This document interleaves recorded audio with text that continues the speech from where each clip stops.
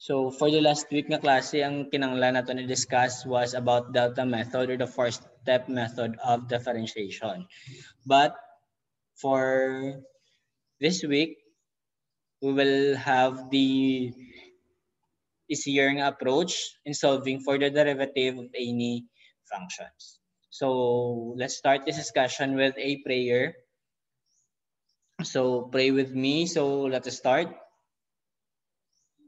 Dear God, we are coming into your holy presence, Ginoo, sa subong adlaw, asking for your blessings, asking for your protection, Ginoo. May you forever uh, continually bless the students. May you um, provide them sa ilang mga kinanglanon Ginoo. You will bestow them with your divine knowledge and wisdom in order to understand their lessons. Hindi lang Ginoo ang basic calculus but the lessons Ginoo nga uh, kinanglanon gid nila sa ilang mga pag-eskwela. And may you help and guide the students Ginoo nga mangin matutom. Hindi lang Ginoo sila pagtuon kundi mangin matutom Ginoo sa pagkalagad sa imo in Jesus name I pray. Amen. So Okay, so let, let us continue. Sir, sir. Yes. Sir, good morning. Morning. So, ito bala, sir, ang solusyon, naging pa white folder mo, kaging fastener, sir. Wala ko to, sir, na fastener. Sige lang, okay lang ta. Uh, sa next sa next mga ano tayo fasten mo lang yung mga solusyon bisan wala na folder kay may folder naman tingadaan. Okay, so we have a differentiation rules. So we have damo kinahanglan discuss. So uh, kinahanglan natin mag-start. Di at natin kinahanglan maghulat sa inyong mga classmates. So differentiation rules is the focus of discussion for this week. So basically tani ang aton nga objective is to learn some derivation of differentiation rules and to apply sini sa solving. But for this discussion, so hindi natin mag-derive kaya medyo sakit-sakit sa ulo ang derivation. So derivation is just the application of the intended nga klase for last week which is the uh, four-step method or the um, four-step method o kanang delta method nga ginatawag naton. So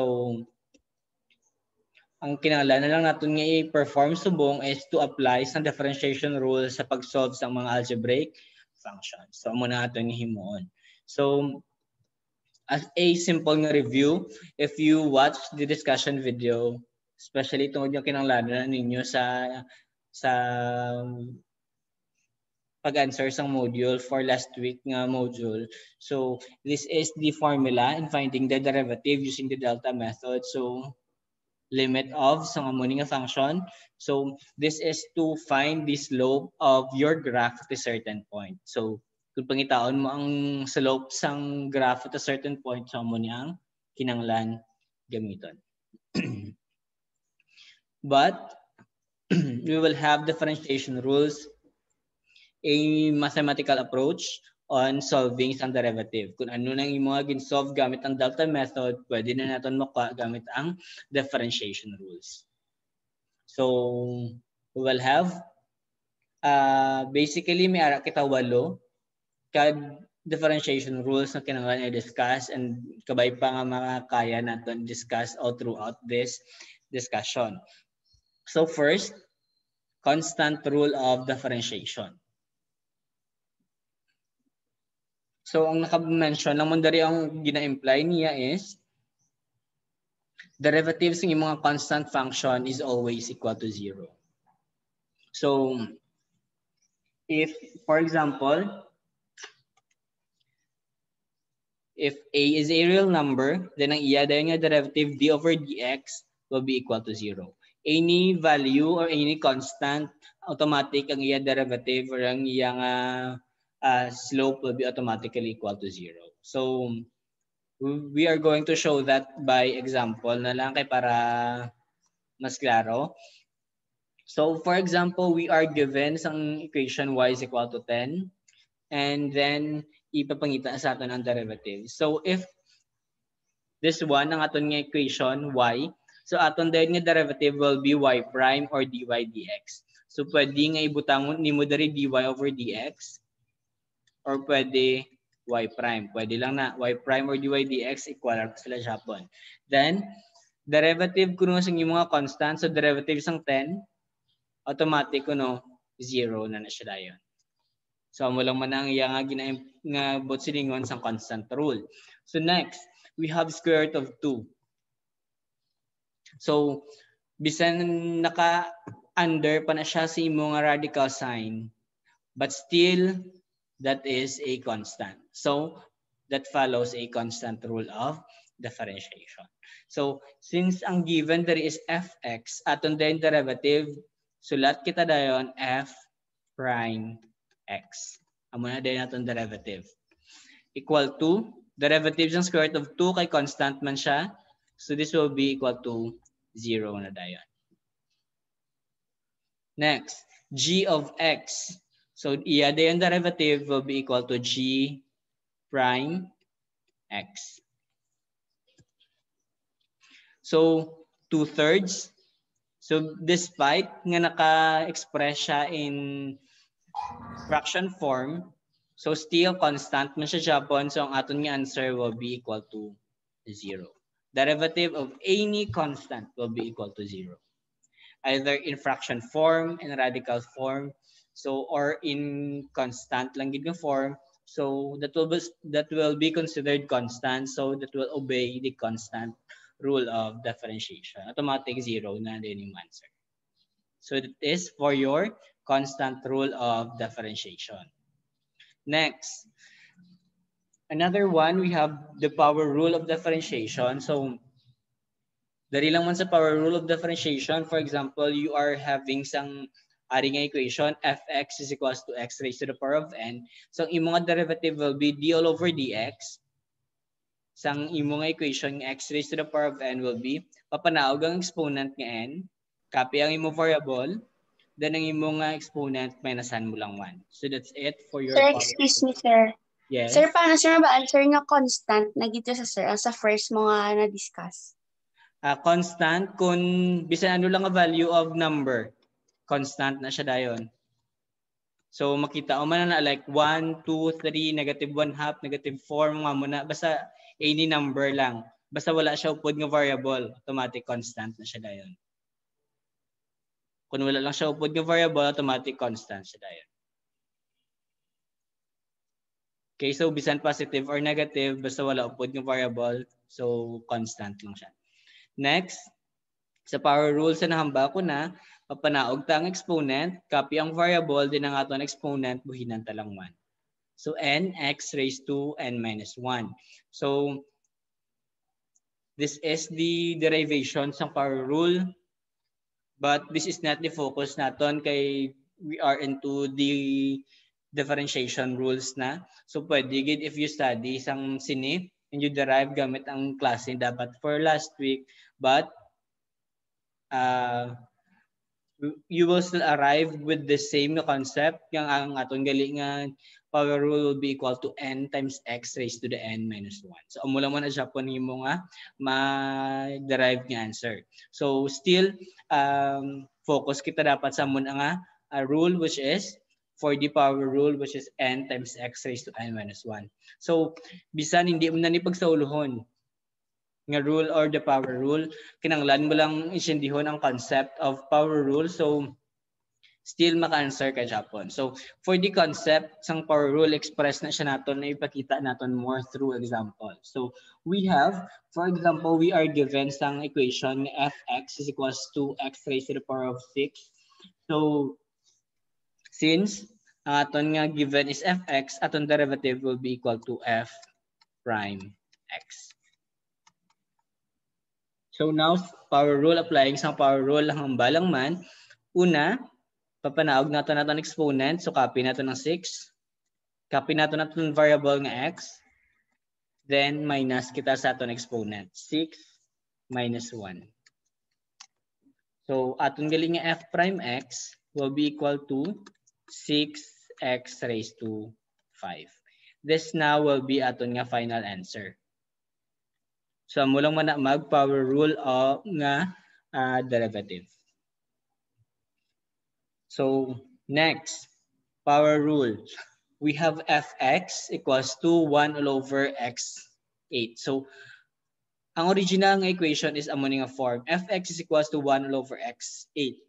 But, if ara sa dalo mong mga derivative o yung mga variable, medyo budlay siya i-applyan sa power rule. So, ang himuon ni mo is ipasaka mo yung mga uh, variable. Ipasaka natin ang variable and then ang imo din yung exponent will be negative na. Since ara siya sa denominator originally. So pagpasaka mo sa iya, yung derivative will be equal to negative 8 na. So applying the power rule, so derivative of fx or f of x will be equal to f prime of x. So this will be equal to, dahil ng aton nga power rule will be negative 8. So we have negative 8. Copy ang x. Then aton nga exponent, manginan na lang. Negative 8 minus 7. Negative 8 minus? 1.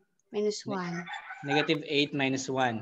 So, aton gali nga f prime x will be equal to negative 8 x raised to negative negative 7. Negative I'm... 9. Kaya pareho sila negative. Oh. So, that will be negative 9. So, f prime x will be equal to negative 8. So, hindi pwede nga sa imong final answer, may negative kang exponent. So, ipapanaog na natin para mag-positive siya. x raised to 9. So, negative 8 all over x raised to 9. This now will be aton nga final answer.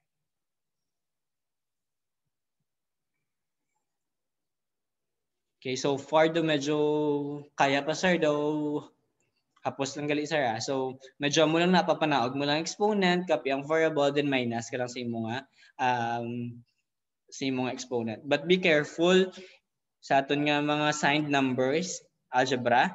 So be careful lang sa uh, mag-minus kita with signed numbers. Okay, so another example para mas para mas klaro. So for example, we are given g of t is equal to the square root of t. So amo ning original equation. So kung nang tawon nimo naka-radical sign siya, medyo medyo budlay siya i-applyan sa aton nga uh, power rule. So we are going to transform aton nga radical into exponential or sa aton nga ex, sa power nga form or nga naka-exponent nga form or polynomial form. So t or square root of t will be equal to t raised to 1 half. So kung naka-express na siya sa among nga form, pwede na kita maka-apply sang power rule of differentiation.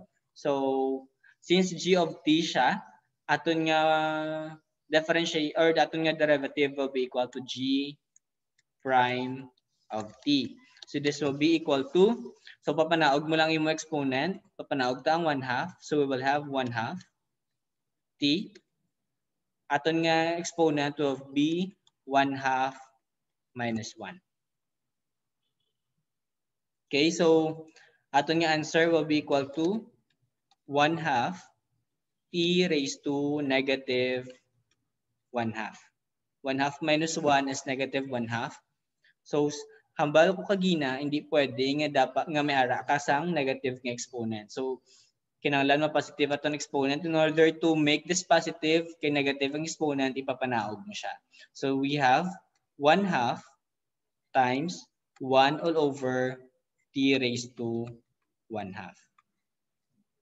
So mo na siya subong aton nga equation. So we will have idiretso ta na lang this will be equal to 1 all over 2 t raised to 1 half. 1 all over 2 raised, t raised to 1 half. But, since naka-exponential form siya, pwede mo siya express in two radical form. t raised to 1 half, so paris man diri sa babaw, it will be equal to square root of t. So this will be 1 all over 2 square root of So this now will be aton nga final answer or mo ni aton nga derivative. So for question or clarification before kita magpadayon. Okay, so uh, ang kakita din namon nga concerns kada permi sa mga estudyante is not with the differentiation ng mga rules but ang problem kalabanan sa mga estudyante dire especially sa amo na nga part is the transform uh, algebra nga part so from exponential to radical or radical to exponential or uh, subtraction sa mga and multiplication or operations with your uh, fractions. But kabalo ko nga kaya yun na ng mga amo ng aparta. So if hindi pardon medyo lang alang ka pa medyo review-review kita sa mga radical nga uh, transformations. So we will have another example. We have g of t is equal to 1 all over t raised to 2 thirds. So kung nantawan natin ang original equation, g of t, 1 all over t raised to 2 thirds, medyo medyo simple siya pero do medyo komplikado manantawan because we have the variable sa denominator plus ang exponent is expressed in uh, fraction form. So since ara siya sa dalom, hindi kita pwede maka-apply sa power rule. So pwede mo lang siya ma-apply power rule kung ara na siya sa babaw ang imong nga variable. So ipasaka nato naton variable, copy nato ng same equation, but we will have negative na lang. t raised to negative 2 thirds. Okay? So we have t raised to 2, negative 2 thirds, then pwede na kita dahil maka-apply sa aton nga power rule of differentiation. g of t ang given, So ang atong derivative will be equal to g prime of t. So this will be equal to derivative naton. So negative 2 thirds ang atong exponent. So multiply lang naton diretso or copy. Diri sa negative 2 thirds. Then copy naton ang atong variable nga t. Then aton nga exponent may nasanta lang 1. Negative 2 thirds minus 1. Okay, so we will have negative 2 thirds. Then perform natin ang operation sa aton nga variable nga side. So we have copy ang t. Negative 2 thirds minus 1. So pila ni ang values ng negative 2 thirds minus 1? Sige be. Negative 2 thirds minus 1 da? Negative 5 thirds. Thank you. So this is equal to negative 5 all over 3. So negative 5 thirds. So now we have negative naman diwat yung exponent. So pwede natin siya ipapanaog para mangin positive ang aton exponent. So be equal to negative 2 thirds copy ko lang danay multiplied by 1 all over t raised to 5 all over 3 or 5 thirds. Okay, so muna natin nga na answer. So we have 2 all over 3 t raised to 5 all over 3. So, pwede na nga muna mo answer kung wala ka man lang ginhambalan or wala ka man lang gin-instruct to express your answer in radical form. So, pwede na muna. But if ever uh, gin-instruct ka mo kinanglan inyo answer should be expressed in radical form, kinanglan mo siya transform into radical. So, take note, as a review lang, kung ang given for example, given for example naton is t raised to 1 half. So t raised to 1 half will be equal to, kung transform siya sa radical, this will be equal to square root of t. Kung for example naman, t raised to 1 third ang given. Okay. Kung mag-transform ka into radical, this will be equal to cube root of t. So, what if ang imong equation is t raised to 2 thirds? t raised to 2 thirds will be equal to, so copy na to ng variable, aton nga denominator dere sa aton nga exponent will be our index of radical. So butang naton dere we have cube root of and then ang aton nga numerator will be ang aton nga uh, exponent sa aton nga variable. So we have cube root of t squared. So that's it para sa transformation sa aton nga expon uh, fractional nga exponent into radicals. So ano gali ang ato nga final answer kung naka-express siya in radical form?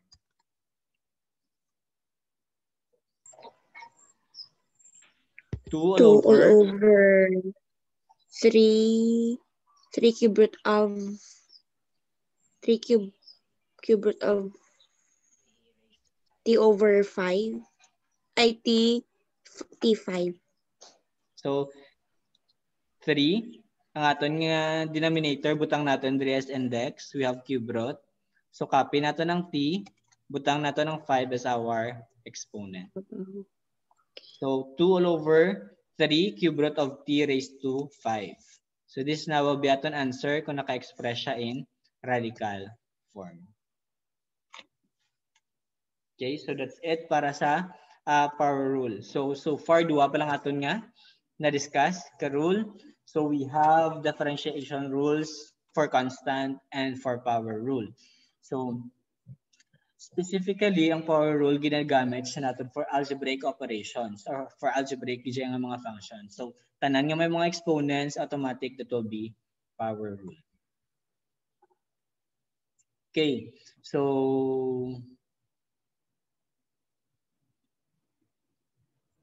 Okay, now since ari kita sa power rule, may pamangkot lang ko what if given kita sang equation nga y is equal to x. Ano ang derivative sa aton nga y is equal to x?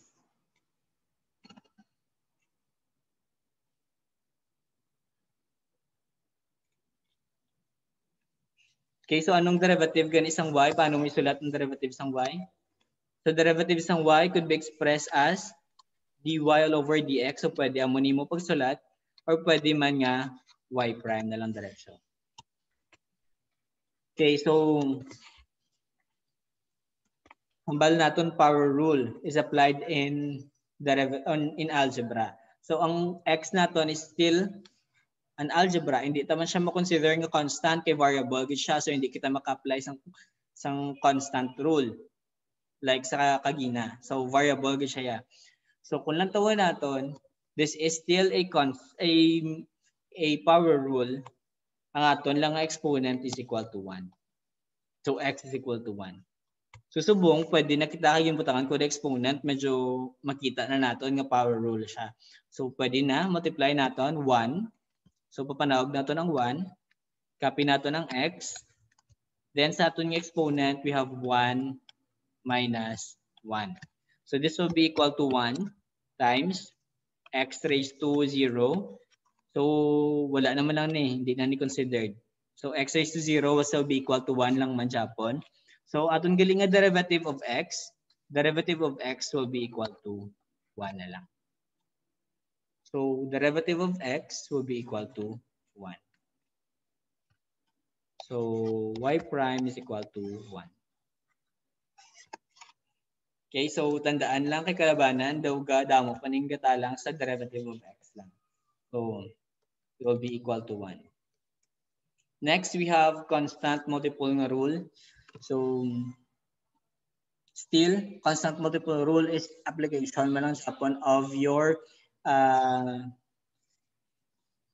ng power rule. So pwede siya ma-same lang sa Japon yung process except that you have a constant na diri subong. Constant multiple rule. So magin multiply ka na constant, amo na siya nga gitawag siya constant multiple rule.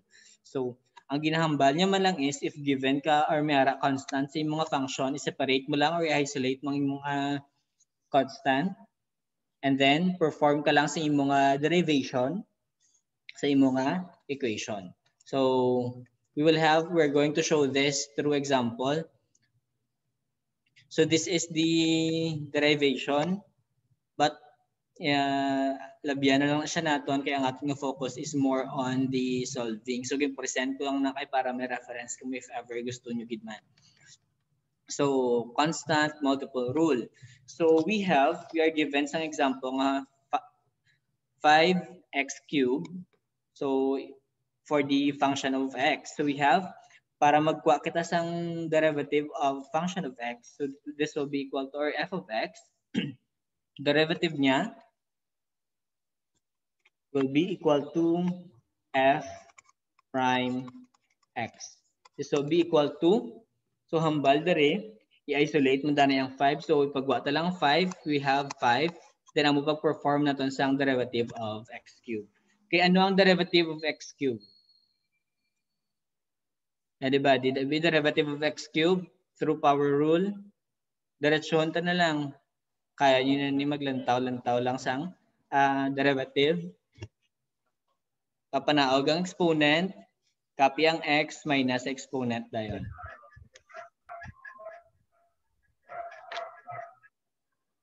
Okay, anybody?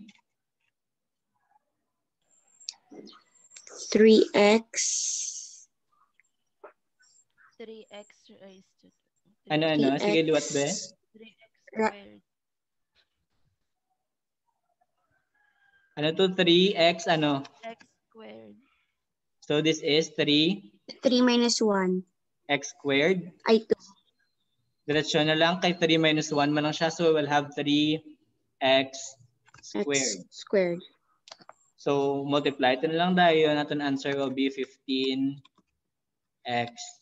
squared. So kung nakita ninyo or na-notice ninyo, pwede lang manggali sir nga multiply ko na lang diretsyo. 3 times 5, that will be 15x squared. So pwede lang, pwede lang na siya if ang aton nga given is expressed in uh, whole number lang man. So pwede ka ka-multiply diretsyo. So apply ta na diretsyo diri sa aton nga second equation. Pwede kita ka-multiply diretsyo. So we have f prime x. So ano gali ang aton nga derivatives ng 10x raised to 8. Multiply na natin diretsyo.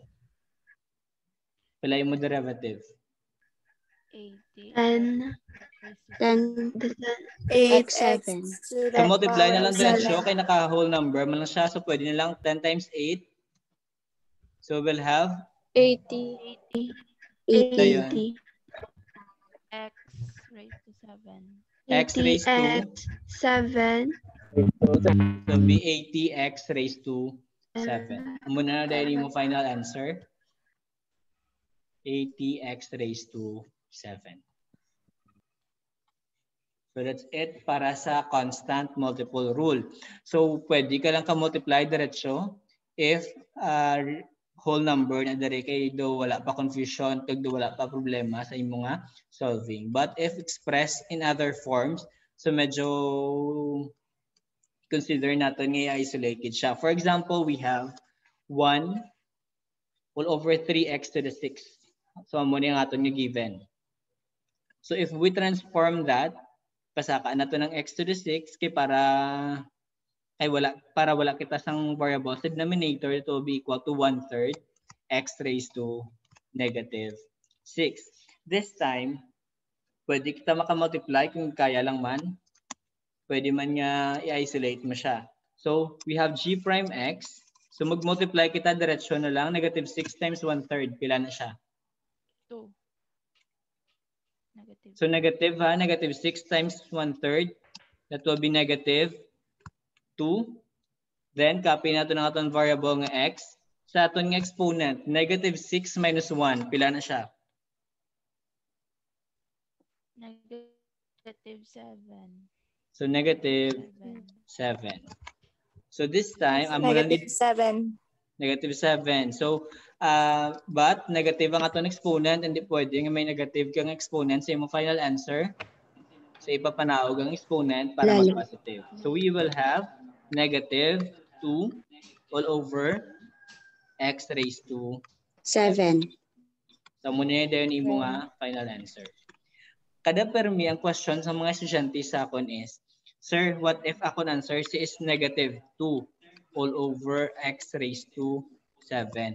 So, same lang na siya, sir. Nga akon nga, nga negative is ari diri.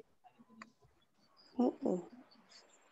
Okay, so same lang na sa Japon kay parehas naman na sila nga pag-state sa aton nga answer. But mas okay gid kung ang imo nga pagbutang sa negative is ari diri sa tunga. So but bisan ano lang man ang uh, pag-express nimo sa negative sign, still parehas lang na sa Japon yung answer. So this now will be aton nga final answer. So next we have S is equal to 4 fifth t raised to 1 half.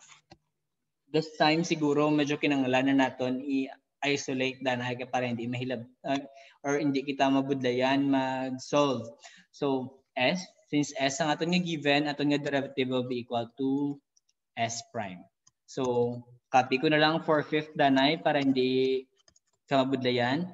So we will have perform naton ang derivative para sa t raised to 1 half. So for t raised to 1 half, we will have, papanaog natin natin exponent. We have 1 One half here. Copy ang t. So ato niya exponent will, Raised will be 1 half minus 1. Minus 1. Okay, so pwede na natin ma-multiply. Diretso na lang. 4 times 1, we will have 4. All over. 5 times 2, we will have 10. Then ang aton nga exponent, ay ang aton nga variable, I mean, copy. Ito na lang t. 1 half minus 1 will be equal to Negative 1. Negative 1 half. negative 1 half. One So, po- since negative 1 half ang aton nga exponent, kinanglan tayo ipapanaog. So, we'll have equals to 4 4. over Okay, over so 10. 4 over 10, pwede na natin i-reduce into lowest term. So, an- Two fifth. ano nga itong lowest term? 2 fifth. So, we have 2 all over 5 or 2 fifth. Then, multiply natin by, papanaog natin ang aton nga variable will have 1 all over t, 1 t 1 half. T raised to 1 half. So, pwede na nila yun. Express mo siya into radical form, kag combine na lang diretsyo. So, we will have equals to 2 times 1 sa babaw, that will be equal to 2. 2. sa dalong, 5. Then express Five. natin in radical form ang t raised to 1 half. Square, Square root of square root of t. t. This now will be aton nga final answer. Okay, so muna aton final answer for the um, power rule and cons uh, applications ng power rule and constant multiple rule. So we will have another rule which is sum and difference rule of the differentiation. So basically ang ang sum and difference rule of differentiation is uh, application sa tanan ng mga rules nga gindiscuss natin kagina. But uh, separated lang sila by plus or minus sign. So nabiyanta na lang ng iyang uh, nga derivation. Let us proceed lang sa uh, example na lang. So ang ginahambal ng man during ay para sa sum and difference rule, derive mo ang isa, copy mo lang kung ano ang assign sa tunga, then derive mo naman ang another nga equation. So mo lang muna ang kinanglan nga uh, i-consider natin. So we will have derivative of 4x to the fifth plus derivative of 7x squared. So diretso kita, since, since ang given is f of x, at ang derivative will be equal to f prime of x. This will be equal to, so ano ang derivative sang 4x to the fifth?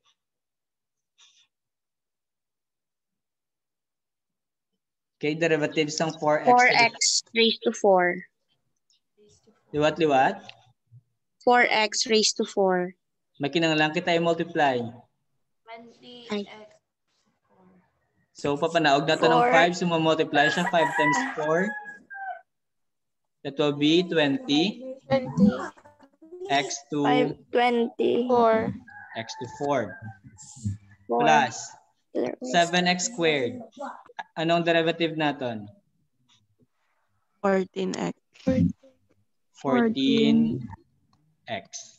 So dapat may 1 ka pa di sa babaw but since 1 na lang man yung exponent so hindi na natin kinahanglan isulat ang positive 1. So this now will be ating nga final answer.